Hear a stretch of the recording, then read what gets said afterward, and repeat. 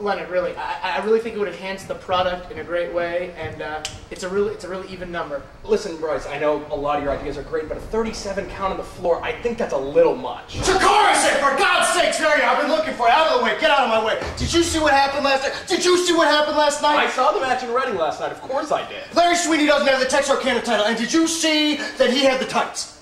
He didn't have the tights. He had the tights. He did not have He the won tights. by holding the tights. And you know what? I'll tell you what. We, we, need, we need a rematch. You know, you haven't looked at, at, at the, at the Texarkana rule book. There's a 24-hour clause, 24-hour clause for the for a rematch for the champion who's holding it if it's not defended in Texarkana, and especially without Mana. He doesn't. I mean, for the, the, all right, he doesn't. Chinchilla doesn't even know where Texarkana is for God's sake. If you want a rematch tonight that bad, you got it.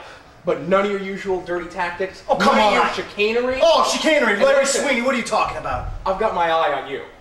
All right, fine. And I've got my eye on the Texarkana TV title.